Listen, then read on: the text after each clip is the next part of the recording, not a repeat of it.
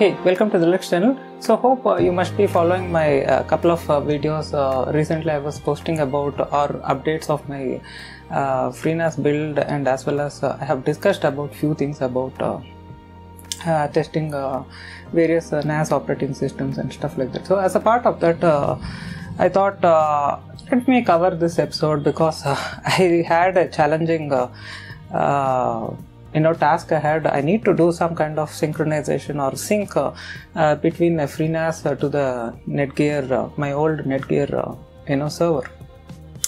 So the old one uh, i want to use it uh, like an uh, backup archive or some kind of you know um, archive so that in case if anything happens to this FreeNAS, uh, I can just uh, use it as a last resort and uh, I can uh, try to sync uh, important data uh, over that uh, uh, over onto that uh, server as well. So as a part of that, I have managed to do an rsync setup.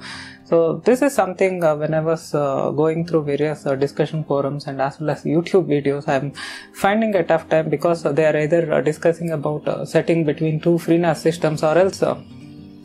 Uh, in the Netgear documentation, you can also find uh, uh, you know rsync setup uh, uh, between two Netgear systems, or else a Netgear to Google Drive or something like that. But in my situation, I need you know FreeNAS as a source, and it has to push you know the data to this you know Netgear server. So this way, what happens is it it has that updated uh, backup because if I do an offline backup, I was getting, uh, of course, uh, I, I used to do earlier, but if I do an offline backup, uh, what happens is the files, whatever it remains, will be outdated and I need to do these things manually. So it is a lot more challenging. So it is high time that I need to set up something like this. So uh, this is my uh, window where you can see here, this is my um, FreeNAS UI. So these are some of the pools, and I have totally two pools. Uh, let me just show you. So these are some pools. They, for now, I uh, did a couple of pools. One I named as a big pool. The other one uh, is called as a small pool. So the small pool, I may do some uh, drive upgrades and stuff like that, or else I may even pull one of the drives from this uh, Netgear and then uh, put it across into this uh, small pool. So so i was in the process of uh, doing some more changes uh, so that uh, you know i get that complete setup. But before that i thought let me finish this uh, rsync stuff because this is very critical. I'm keep adding some data new data to this you know freenas system. But in case uh, if something happens i need to have some kind of uh, you know secondary backup of the same. So although you have a z2 pool uh, whatever it is I, I prefer i need to have some kind of you know disaster recovery stuff. So so in the big pool for now i'm focusing this uh, folder which is a backup. Uh, so you can see here it is around uh, 262.29 gb and this folder uh, if i compare it with this original folder you can see here uh, uh, this is the netgear uh, nas inside you can go to the shares and it shows this you know interface. So you can access like google drive you can uh, go inside and you can do browse and you can do that as well. So for uh, privacy reasons i'm not opening this here. anyway uh, you can see here it has a total consumed the space of around 300 gb uh, the reason is i have done some modifications. I have removed really some obsolete data which i have uh, backups uh, from 2008 9 and 2010 and 12 so i did some few things uh, uh, cleared few things. So that is the reason this has more data versus you know this folder. So once i built this uh, you know freenas i have done a manual copy uh, for all the files from uh, from each share of uh, netgear uh, server to this uh, freenas server. So i have made sure it contains the total quantity of the file. It gets tallied and as well as the you know the uh, file consumption space or the bytes and everything so it's everything is checked and then uh, finally it's the, uh, the stuff is moved from that netgear to this freenas but now i feel uh, I need to clear this uh, Netgear server and then I need to make it as a sort of you know rsync uh, backup you know site. So that's what. So you can see that there itself is a different difference in the you know consumption. So so this is what uh, uh, here uh, in order to do step by step what I have done is I have not deleted that share. You can see here I have created another share called as backup underscore rsync. So this share I thought let me do this complete rsync and let me do some trials and then once it is all gone well then I can delete this uh, you know backup folder in this netgear because I still sometimes want to treat uh, that as my master uh, source. Until unless everything goes well in my uh, you know TrueNAS server. So which is the reason I'm just retaining for now and luckily I have some enough uh, free space in this uh, uh, system. I don't know where to put more additional YouTube videos. Some I have even pushed into this uh, movies folder. So I am doing some kind of reshuffling of this entire stuff. So you can see here currently it is actually uh, the sync is running. If I do a sync or refresh you can see it's um, total uh, you know consumed space should get incremented. So so in the netgear you have uh, the option called as uh, backup. You have a tab called backup. In the tab uh, backup you can create uh, you know backup tasks and in that you can configure your rsync and other stuff. So uh, since it is a home setup i don't want to do rsync over ssh and get into all sorts of complications. So this is a very fairly simple setup where i don't want to give any sort of uh, you know create any encrypted uh, and uh, rsync over ssh because it is also a cpu overhead and uh, it's not required. First it's fine with the freenas server but it is not okay for this type of a system. This has an uh, very low end armada processor which has around um, 100 or 500 times it has low compute power than a raspberry pi so so that is why it is not a good choice to enable any sort of uh, link compression as well as uh, link uh, encryption and stuff like that. So that's what.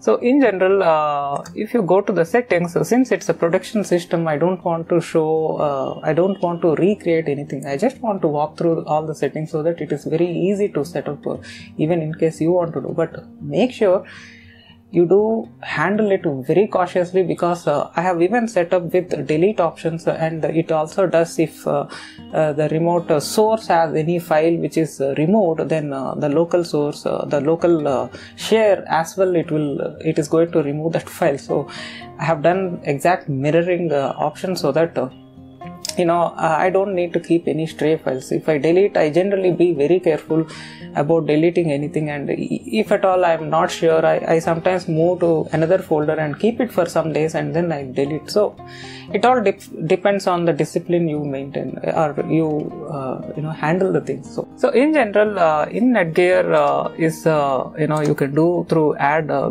backup. Uh, this is the current interface and sometimes if you uh, have any old uh, uh, not so updated Netgear ReadyNAS OS, then you may have a different you know interface. So it doesn't matter.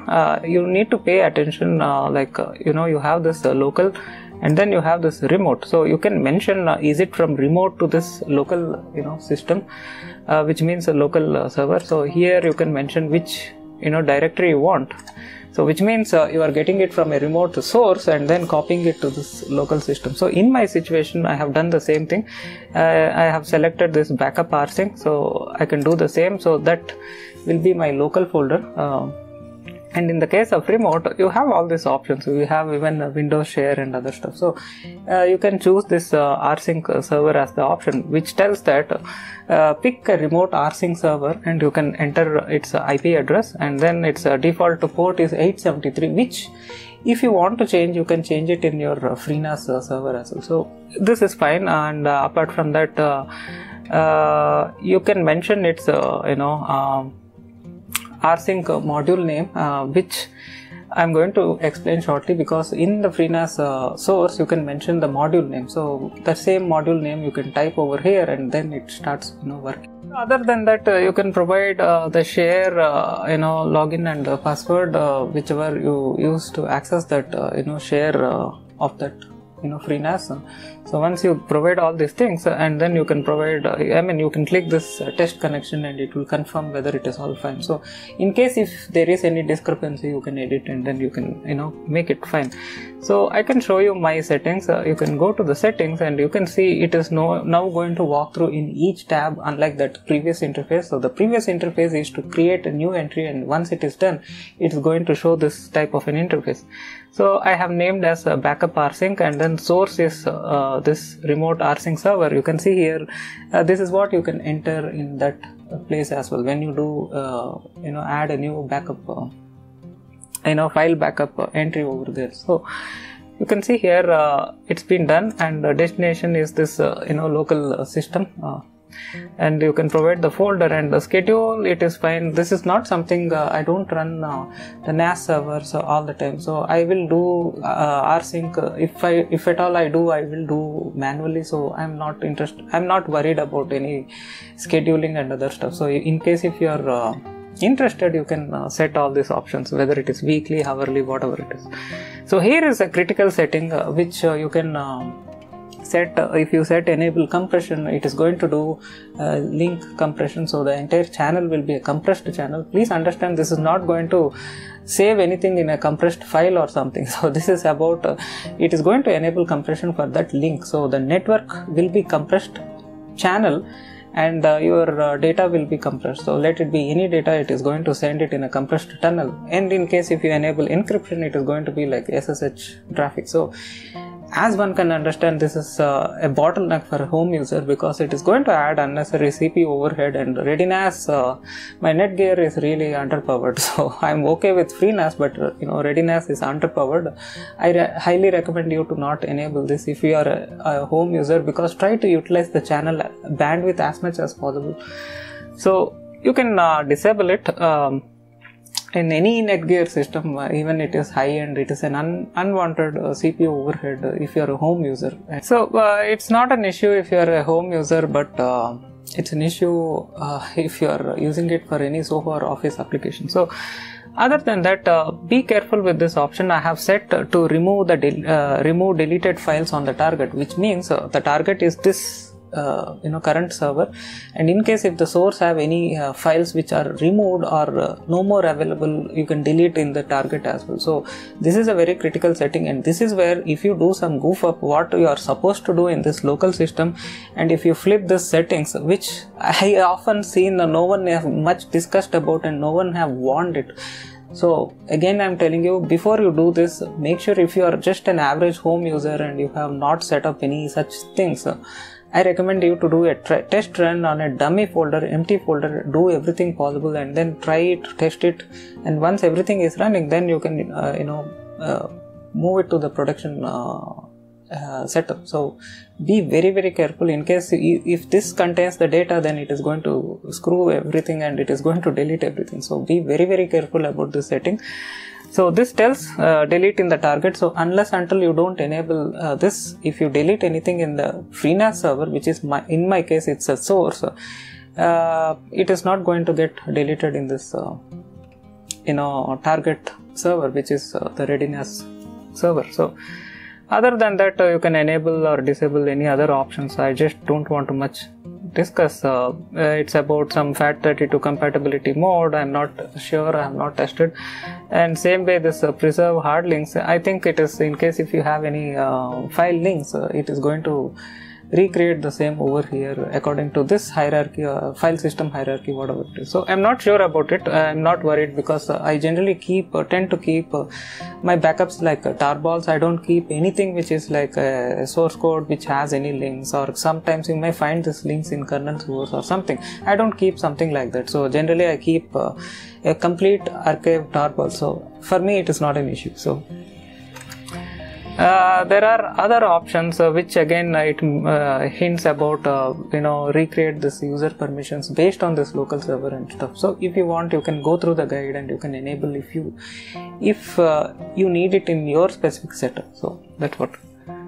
And apart from that you can generally watch this backup log. You can see here how, whichever number of times it has done few things it has uh, provided in-depth log. Uh, uh, this is other than uh, your generic log. You can find it in Netgear, uh, you know, server. So if you go here, uh, you can find in the logs. So, this is going to give a very quick overview, just one line of log message, but it is not going to tell anything much in depth. So uh, there you can find much deeper. Uh, uh, you know debug log messages so that you can see what exactly is happening behind the scenes so few times as a part of testing I have uh, cancelled and then I have re-enabled and several iterations I have done. So which is the reason you can see many times it shows it has been cancelled and it has been reinitiated and also which is not to worry about because I'm generally testing it overall setup. So uh, before I, if anything happens and then I start relying on this backup, I need to see how far this has that integrity overall. So how much I can trust it. So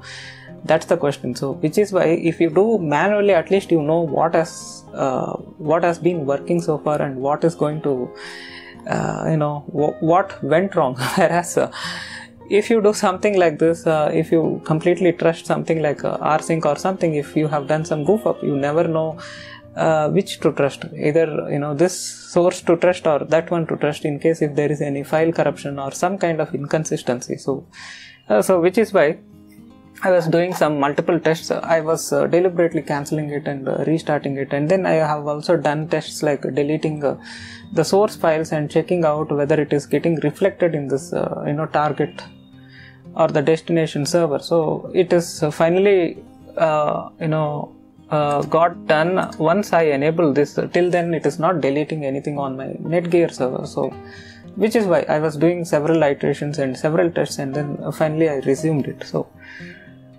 so uh, you can see here uh, you can manually start and stop. You can see you can do a cancel and once you do a cancel it will say uh, in the status as cancelled and um, uh, you can see also it is showing uh, the current status how much gb has been transferred and uh, what is the speed of the link which is quite useful because in the FreeNAS, uh, in the specific GUI, it is not that consistent. They are showing still in octets, uh, the network uh, analytics and stuff.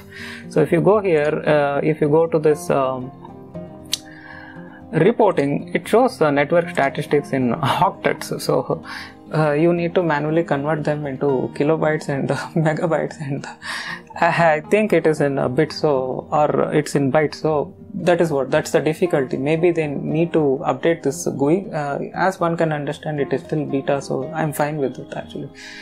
So uh, this is what you can do uh, in terms of its target uh, setup in Netgear server. So so when you hop onto this uh, source uh, you have a couple of things to do. Um, which again you can uh, cross check with a couple of uh, youtube videos as well as uh, you know even the FreeNAS uh, documentation as well so that you'll get that clear picture. So here uh, along with smb you can enable this uh, like you can even enable this uh, auto start so it runs once the system is booted it is ready and it runs all the time. So uh, currently you can even check uh, you can see here I have logged in and uh, uh you can just do a ps minus af uh, uh, and maybe you can do in root. Ps minus af so you can monitor this way. You can even do netstat minus l and it is going to display your uh, you know rsync ports so you can see here there is an rsync connection established between this 98 and 99 so 99 is the client uh, which is this uh, netgear uh, nas and uh, 98 is my uh, you know FreeNAS server. So you can see it's you know registered port is that rsync port. So rsync of that ip address. And the destination is this 99 which is netgear nas which has this uh, you know client port. Okay so this confirms uh, it is uh, running and the connection is established. So that's more important. So it is currently it is both are connected and there is an active tcp session between both of them. So this way you can debug. So uh, if you go inside you can go to the configure. You can see this is the default port. As i said if you change here you can change it in the netgear as well. And um, for any other reasons if you want to change you can change uh, them to a custom port. So here is the main setting. Uh, you can uh, add this rsync module. So, so uh, you can click new and then you can add the same or else I can show you whatever the module which I have added. So you can go here and go to edit. And you can see here it is uh, fairly very simple. So i kept the name as a backup space rsync you can uh, use something like i underscore also to avoid any issues with space. So so the nomenclature I used is the backup is the share name, and uh, I'm using this, uh, you know, uh, trailing with that share name with this rsync. So this is quite easy for me to understand. So, so you can see same way Netgear uh, in the shares. If you see here, the original share is backup. This particular backup is finally migrated to the FreeNAS, and before I delete the same, I created another share as backup underscore rsync, and this is going to be the sync or uh, the mirror of that you know netgear and uh, uh, which happens to be happening through rsync so this is what so once it is all done and it is all tested confirmed uh, everything is existing as per it should be. So once it is all done i'm going to delete this share. So before that i'm doing this rsync so if everything goes well i'm going to delete this you know backup because this is no longer required because I'm going to use this Netgear system as an offline uh, backup rather than earlier it is the only source of backup in my home. So that's what. So you can see that is the nomenclature. So be very simple with this nomenclature because uh, uh, i have seen again uh, some uh, online guide. Again they just mention any name as you may need to create many such uh, you know rsync module so you, you should not get confused. You may have some 10 shares. For all the 10 shares if you want to rsync then you need to choose a specific rsync module. So you need to be careful about the same. So which is why pay attention to this nomenclature and the path uh, is uh, this mount and uh, titan nas big pool and inside it it's the backup folder. So i'm providing for uh, safer reasons as read only so that uh, you know the other side whatever it pulls you know it is just pulling in this read only mode. So uh, i don't need to do anything on this side which is uh, freenas side. I need to do an updation in the you know netgear side. So there deletion is fine but here you don't need to change anything. So you can mention as read only and you can see here uh, the max connections uh, is set as 4 this is yet to be discovered. Is it going to establish 4 tcp connections? I'm not sure. Okay so uh, of course uh, you can uh, leave it by default. It is going to show 0 as the default. You can go to the help. You can see here leave 0 which is unlimited connection. So i'm not sure about this setting. I may explore further. Is it really going to create discrete tcp sessions or what is the logic behind it i need to explore before i comment or confirm anything. So I set it as 4 uh, as a safer side. I don't want to saturate both the devices and uh, it may um, uh, you know if it is in uh, first time sync uh, it is going to transfer uh, tvs of data. It, it, may end up overheating the hard drives or overheating the netgear nas or something. So I, I just want to happen cool and um, that is the reason i put a limit. I don't want anything unlimited and something crazy happens behind the scenes.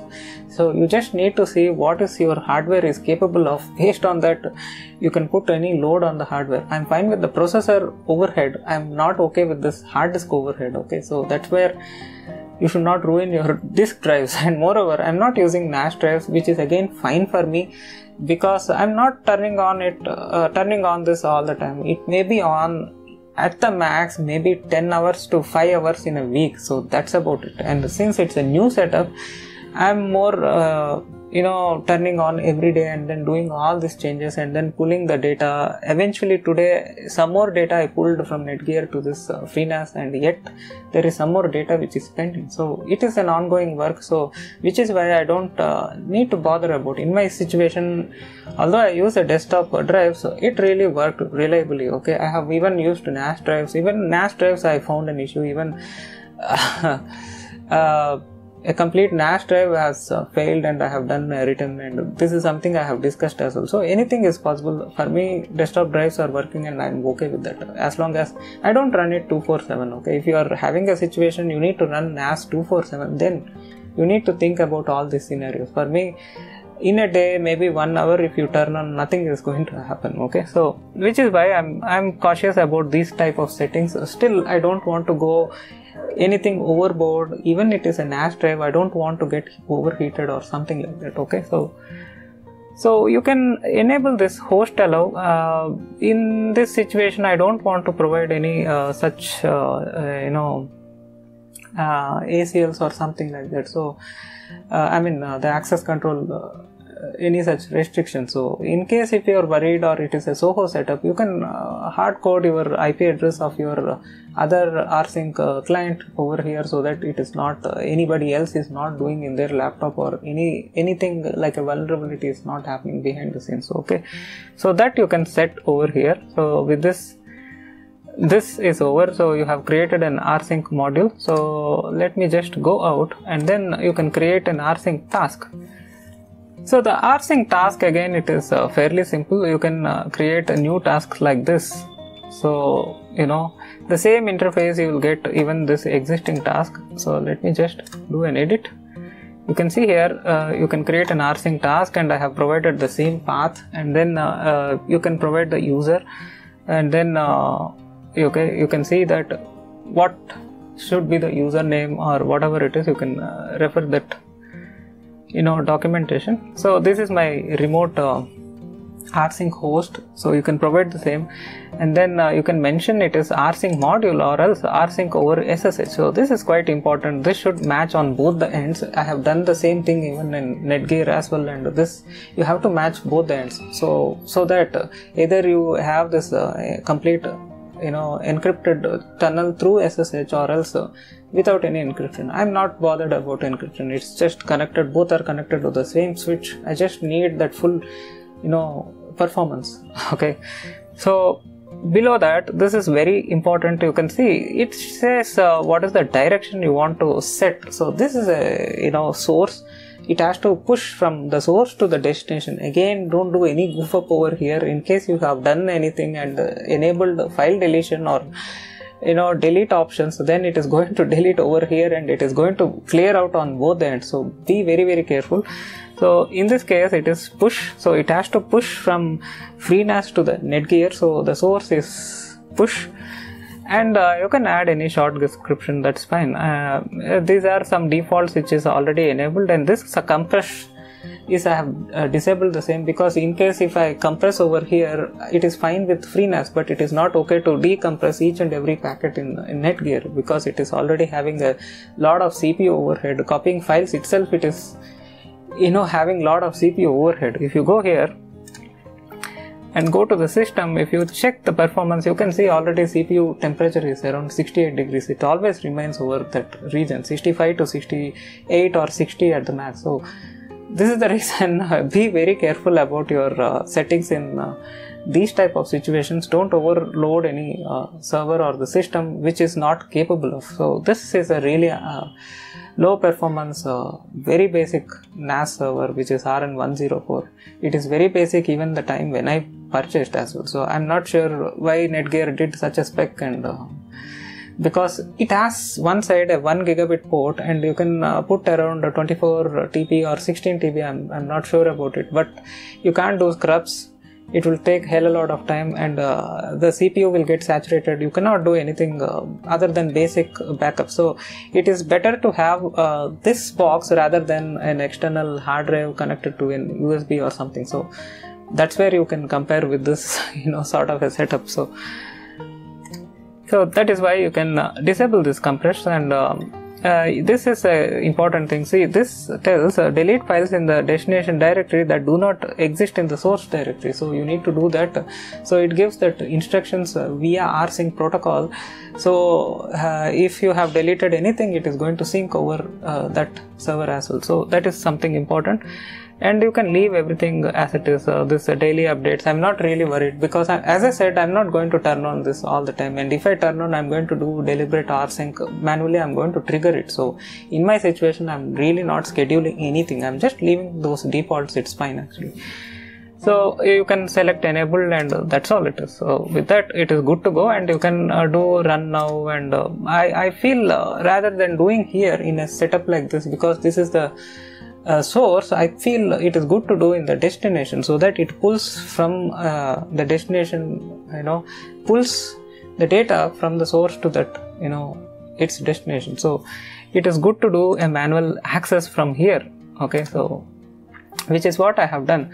So if you go here the shares it shows around 76.1 uh, gb and uh, sometimes even you can interrupt uh, you can just do a cancel uh, i can do it it's not an issue so you can do you want to cancel you can do the cancel and it is going to completely stop or break the rsync sessions uh, or tear the tcp sessions okay whichever way you call it. So it is going to uh, you know stop the entire uh, rsync process and it is going to stall everything. So you can do a clear all and you can see the logs uh, okay you can see it is uh, ca- showing cancelled by user and it is showing uh, the type of backup is incremental. And one more thing if you notice here if you scroll this logs all the way to the first entry you can see here it shows the backup type is uh, full okay? Whereas uh, the other uh, whatever um, the rsync process or the job which I have initiated, it shows as incremental because it has already some data. Okay, so that's what. So you can do the same, and if I go back here and if I refresh, sometimes the amount of data it shows 76.1 may reduce. The reason is some file may get uh, updated partially. So if you of course uh, stop this job, it is going to delete that file because it is not a you know completed transaction. So it is going to stop that file. So or delete that file okay? Because it has to cut this rsync process and uh, anything which is half done it has to stop completely. So which is why if you refresh it may even reduce. The number of bytes consumed maybe you know stay the same or it may reduce.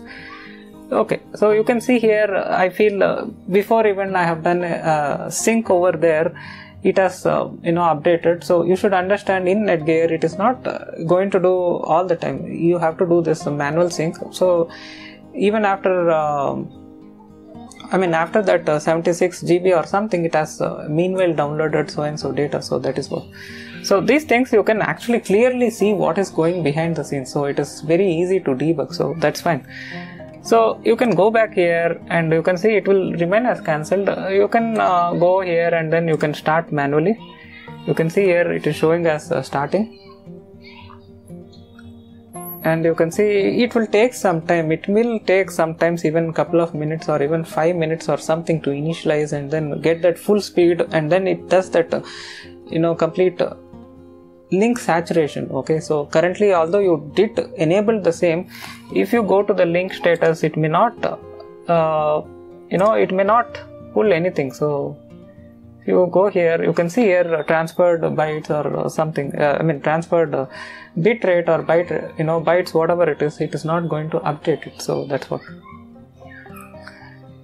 because uh, although i'm an expert in networking what happens is uh, anytime you touch the storage aspect it is going to show uh, rather than in bits per second it is going to show in bytes per second. So i'm really confused to use which term at this point of time. So you can see here it is showing in uh, bytes per second megabytes per second rather than uh, you know bits per second. So so you can see here it is uh, slowly resuming the same. It will take some time before it gets to that uh, full speed okay? So that's what it each time if you break it and restore it will take some time. So if you refresh now so this is what i was hinting. Uh, the netgear will not refresh unless until sometimes you manually refresh. So you can see here 102.9 and if you go back here uh, to some other tab and if you come here come here and then go here it is going to show the same until unless you refresh this tab okay?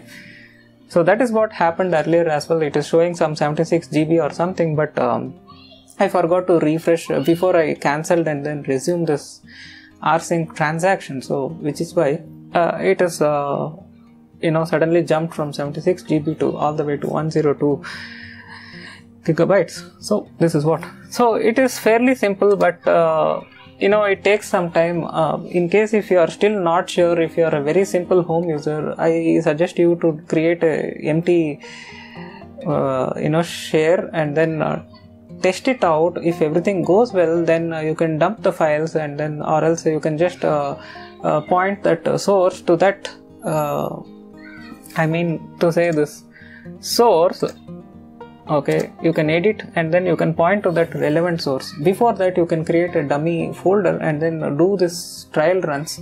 And once everything runs well and then you can repoint this to the actual folder. So uh, with this what happens is uh, you are sure that you are not doing any sort of goof up and you are not doing something in the reverse way. If you do anything in reverse and if you enable this delete options uh, in either of the system it is going to screw up the stuff. So this is why be very careful whenever you do the rsync. And this is the reason i was really cautious about setting any sort of rsync setup so far. It is fine. Even i can i could have done an rsync between that netgear and my uh, system as well. I could have done from my system to netgear as well. But it is the big issue with the rsync is you need to be very careful. It is fine to do a manual copy rather than doing something like this and then screwing any you know your backup ultimately. Uh, so moving forward, uh, I may uh, set up some more rsync tasks as well as rsync modules. Please understand whatever you have done in that, uh, you know, here uh, in uh, services is a rsync module and whatever we do in FreeNAS tasks is a rsync task. Okay, whereas in Netgear you have everything in this, you know, backup tab. So that's what. So whatever you do this. Um, uh, whatever I have done this, I may uh, do uh, sometime down the lane for other uh, share as well. So there are some important share over here.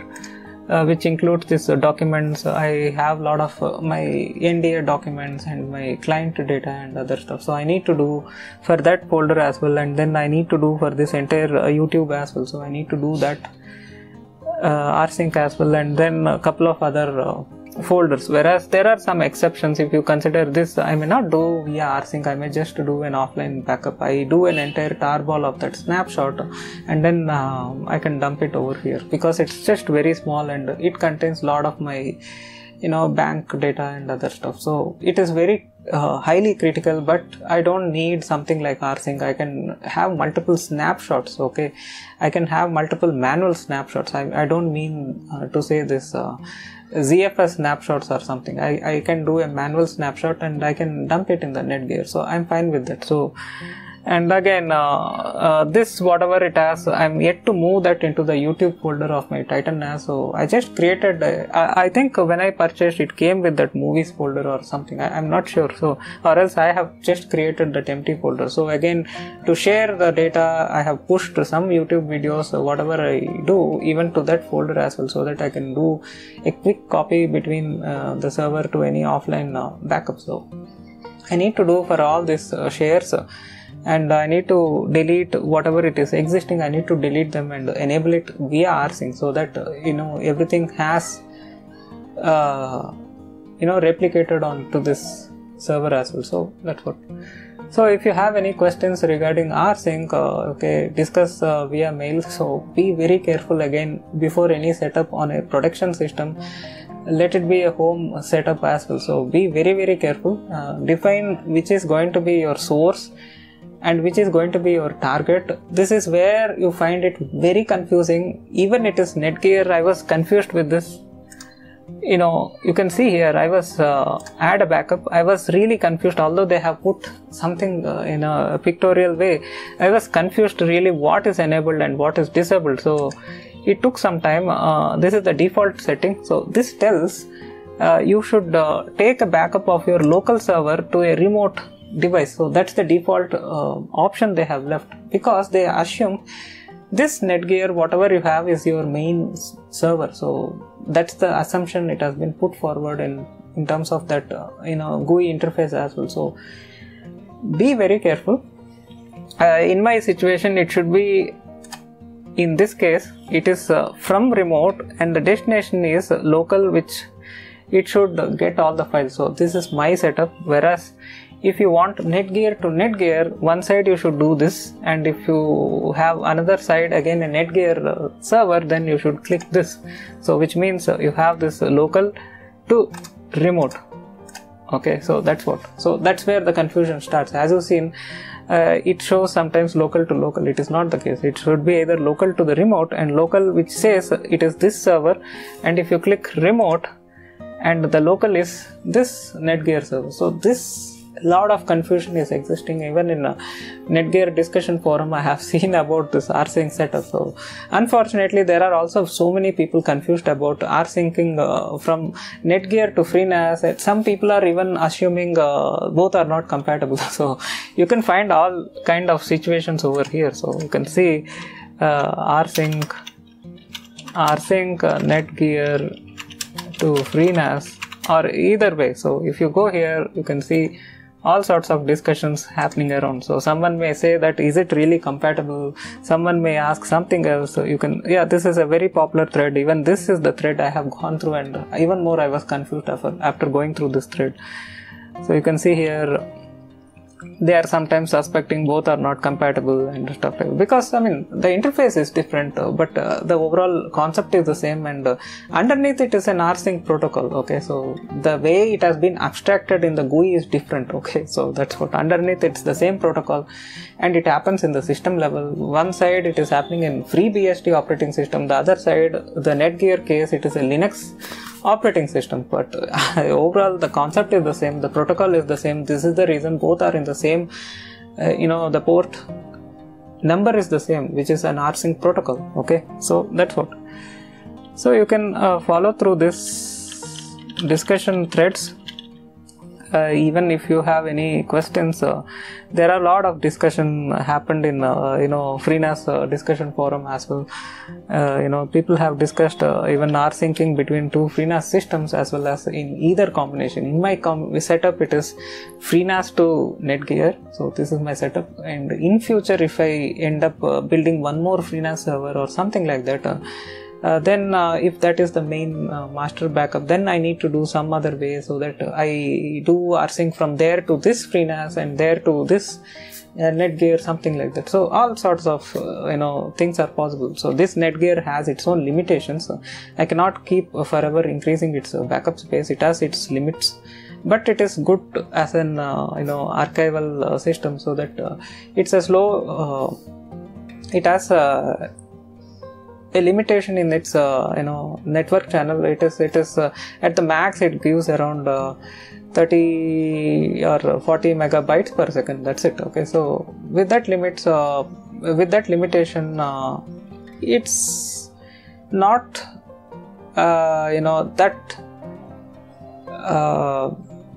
good enough for every situation. It is okay to use as a very you know once in a while offline backup uh, you know system that's all it is okay.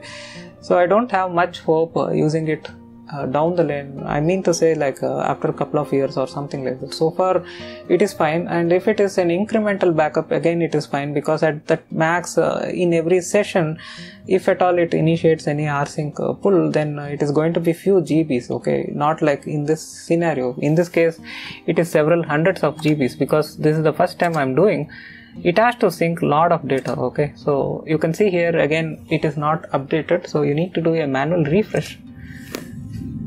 And then it is going to show that updated uh, data okay? So currently it is 108 gb so it is long way to go. It's around 300 gb uh, it is uh, just one third it is done okay? So it's still long way to go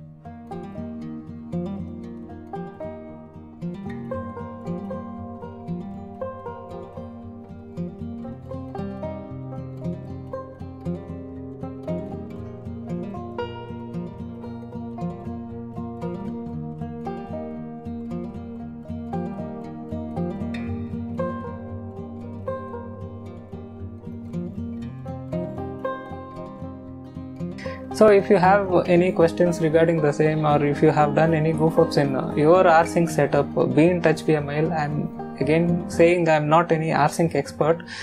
I felt uh, it is quite straightforward and uh, I have done the setup and finally it started working. There are some hiccups, uh, okay, uh, in between uh, the Netgear it is saying that it cannot find an rsync server and so and so. It took around uh, more than an hour to set up and get everything working. Although it is simple, now I know the process. Uh, it may take hardly five minutes. That's it, okay. So, but still, as a beginner, if you are confused, if you are having any issues, uh, send your screenshots and uh, be in touch via mail okay so hope you guys loved watching this video thanks a lot for joining me stay tuned have a nice day bye bye